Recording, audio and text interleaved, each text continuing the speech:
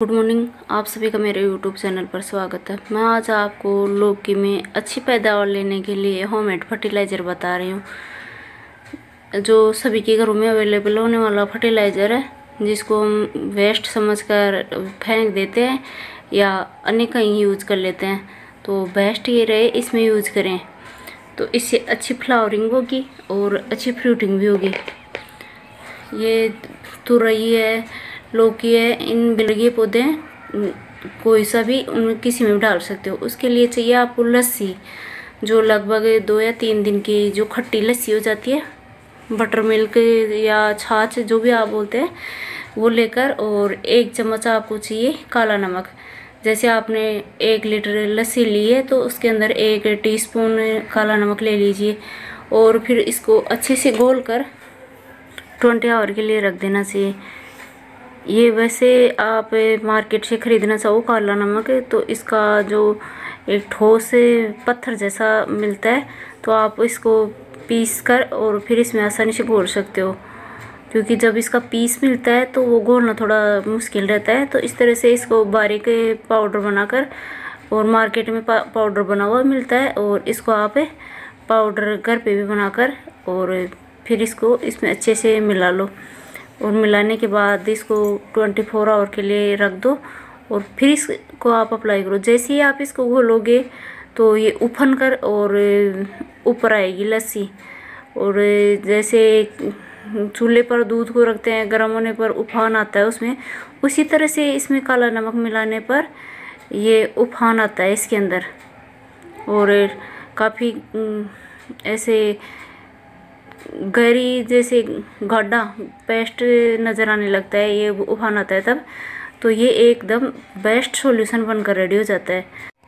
फिर तो रही लौकी कोई भी आपकी बेल वर्गीय सब्ज़ी है, उसके अंदर इसको अप्लाई कर सकते हो। ये लगभग आप एक बार सॉल्यूशन बनाकर और एक बार डाल दिया, उसके बाद आप इसको लगभग पंद्रह दिन के अंतराल पर वापस इसको अप्लाई कर सकते हो। ये देख सकते हो मैंने इस लौकी की बेल से इतने लोग यहाँ तोड़ लिए हैं और इसके बाद इसमें अप्लाई कर रही हूँ। क्योंकि जब इन जो बेल हैं, इनमें से इन वेजिटेबल की हार्वेस्टिंग कर लेते हैं, उसके बाद इसमें काफ़ी पोषण की कमी आ जाती है, इतनी काफ़ी जो वेजिटेबल मिल जाती है, उसके बाद तो उसमें फर्टिलाइज़र अप्लाई करना काफ़ी ज़रूरी होता है, जिससे वो अच्छी पहले जैसी ग्रोथ कर सके, अच्छी फ्लावरिंग कर सके, अच्छी फ्रूटिंग कर सके। तो उसके लिए सबसे बेस्ट सॉल्यूशन यही है। ये जब काला नमक और लस्सी मिलते हैं तो ये एक अच्छा फर्टिलाइज़र बनता है और फिर लौकी की बेल में डालने से इसमें फीमेल फ्लावर की संख्या बढ़ती है और जो फ्रूट्स आए हुए हैं वेजिटेबल आए हुए हैं, उनकी साइज़ भी बड़ी हो जाती है और काफ़ी संख्या में इसके वेजिटेबल आते हैं। तो ये सबसे बेस्ट सॉल्यूशन है इनकी अच्छी फ्लावरिंग लेने का, अच्छी फ्रूटी लेने लेने का और यदि फ्लावर ड्रॉप की प्रॉब्लम है तो वो भी दूर हो जाती है क्योंकि ये सॉल्यूशन है, इसके लिए सबसे बेस्ट रहता है। इसका ऐसा ही कोई कॉम्बिनेशन बनता है कि लौकी की बेल में लस्सी डालो और अच्छी फ्लावरिंग फ्रूटिंग पाओ। उससे जो हम लस्सी को पीते हैं तो हमारे स्वास्थ्य के लिए अच्छी होती है। उसी तरह से इसमें भी अच्छी रहती है। इसमें कैल्शियम की मात्रा भी रहती है। तो वेजिटेबल में कैल्शियम की भी जो कमी रहती है, उसको पूरी कर देती है। इसे लौकी की जहाँ भी रूट लगी हुई है, उसके अंदर आप जैसे इसको डायरेक्ट इस तरह से अप्लाई करना चाहो तो इसमें अप्लाई कर सकते हो। और आप चाहो तो जितना आपने लस्सी लिया है, उसी के बराबर क्वांटिटी में आप पानी लेकर और दोनों को मिक्स करके और फिर भी इसको अप्लाई कर सकते हो। और आपके पास लस्सी काफ़ी अच्छी मात्रा में है तो आप इसको एक लीटर एक बेल में डाल दो, जिससे इसमें वेजिटेबल में जितनी भी पोषण की कमी आई है, वो पूरी हो जाए। और इनके अंदर लगभग पंद्रह दिन के अंतराल पर गोबर की जो खाद होती है, अच्छे से तैयार हुई, वो ज़रूर डाल देनी चाहिए। क्योंकि गोबर की खाद डालने से भी इसमें जो भी कोई पोषण की कमी रह जाती है वो पूरी हो जाती है और फिर ये बेल लगातार अच्छी फ्लावरिंग, फ्रूटिंग देती रहती है। नहीं, जैसे एक बार फ्रूट्स की हार्वेस्टिंग कर लिए, उसके बाद इसमें पोषण की कमी आ जाती है और फिर जो भी फ्लावर आते हैं, वो गिरना स्टार्ट हो जाती है। तो उस फ्लावर ड्रॉप की प्रॉब्लम से बचने के लिए इसमें लस्सी से जो ये सॉल्यूशन तैयार किया है, वो भी पंद्रह दिन के अंतराल पर आप इसको अप्लाई कर सकते हो। और ये जो वर्मी कंपोस्ट है या गोबर की खाद है, जो भी आपके पास अवेलेबल है, उसको ज़रूर डालना। जिससे आपकी बेल लगातार लगभग चार पाँच महीनों तक अच्छे से फ्लावरिंग और फ्रूटिंग देती रहेगी। और आप इन लौकियों को तोड़ते तोड़ते थक जाओगे, क्योंकि काफ़ी लौकी की बेल लंबी भी हो जाती है और काफ़ी इसके लौकियाँ भी आती हैं। मैंने काफ़ी लोगों के यहाँ बड़ी हो गई थी, वो तोड़ भी ली हैं और अब भी काफ़ी लौकियाँ रखी हैं, जो मैं आपको दिखा रही हूँ। ये देख सकते हो, काफ़ी लौकियाँ रखी है अभी भी और काफ़ी मैंने तोड़ भी ली हैं।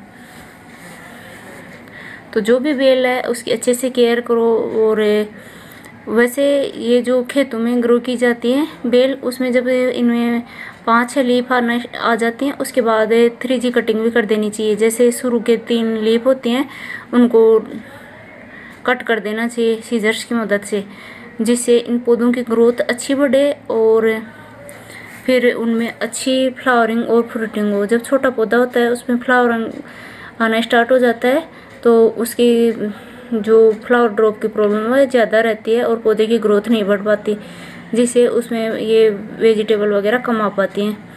तो इसमें थ्री जी कटिंग भी कर देनी चाहिए और इसमें पानी की सप्लाई भी अच्छी रहनी चाहिए, क्योंकि जब पानी की कमी रहती है तो इसमें फ्लावर ड्रॉप की प्रॉब्लम ज़्यादा रहती है।